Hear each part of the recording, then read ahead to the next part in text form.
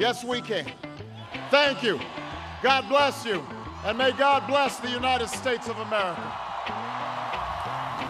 To say that force may sometimes be necessary is not a call to cynicism, it is a recognition of history. America, I believe we can build on the progress we've made and continue to fight for new jobs and new opportunity. Ah. Buenos dias. It is wonderful to be back in Mexico. Lindo y querido. As the single most powerful word in our democracy is the word we. Ways the United States and Cuba are like two brothers who've been estranged for many years, even as we share the same blood. I'll ask of you, as your president, the same thing I asked when you took a chance on me eight years ago. I'm asking you to believe, not in my ability to bring about change, but in yours.